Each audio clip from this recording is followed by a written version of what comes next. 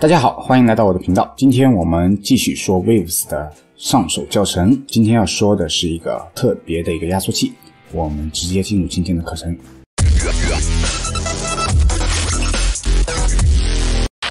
纵观 Waves 啊里面的一些效果器，我觉得可能就是 EQ 和压缩品种也是最多的。给我们的一个提示就是，不同的压缩或者不同的 EQ 对声音的染色、对声音的这个处理啊，虽然在原理上是一样的，但是它们出来的效果还是有区别的。要不然的话，也不会需要那么多的呃压缩。今天我们要说的呢，这个叫做 DBX 杠一六零的这个。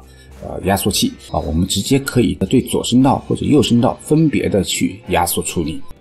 这个压缩器呢，其实它没有太多的一个在压缩的这个形式上面没有太多的一个就是说一个难点，它只不过最多的一个优点呢，它就是把左右声道可以分开。那怎么去分开呢？啊，它默认的情况下的话是这个是一起调动的，Comp Mode 这个你调一下，调到多，它就可以左右分开来单独去调节。下面这个我们一会儿来说啊，我们直接先说上面的。我们还是调到这个左右 link 的这个状态来说这个效果器。第一个旋钮啊叫做阈值 compression 呢，这个是一个压缩量的一个调节。简单来说就是个压缩比，然后这边就是一个输出音量的一个调节啊，这两个都是一样的啊。这边是三个切换这个仪表盘显示的内容，VU 盘显示的这个内容，一个是 input，切到这个按钮，这边的仪表盘就显示着。啊，输入进来的音量，也就是没有被处理过后的一个音量。Output 呢，就是呃显示我们处理以后啊，它总体的一个音量的范围。这 Gain Change 就是我们使用这个效果器以后啊，它的一些变化的一个音量。这边有 Collapse 这个按钮啊，就是一个收和一个开啊，打开有下面的这些调节。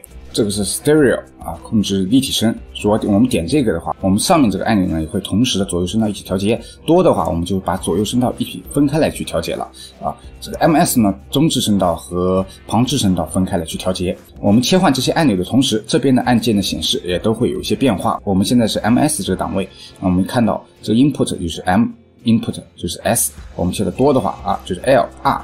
Studio 呢也是一样的啊，L R。Monitor 就是这个。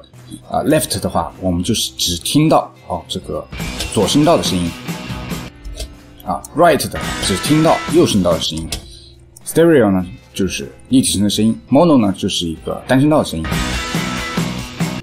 正常情况下，我们还是都调节到 stereo 这个形式，input L。Input R，大家都很理解，这个就是左右声道我们单独分开的去调节啊，因为我们现在是调的这个是 Stereo 这个选项，所以我们动 L 和 R 的时候，动一个旋钮的话，左右都会一起动。那我们切换到这边，这样子的话，我们就可以分别调节左右声道的音量。同样，这边是左右声道的一个干湿比的一个调节，最后是一个 Noise 啊底噪啊，增加一些模拟底噪。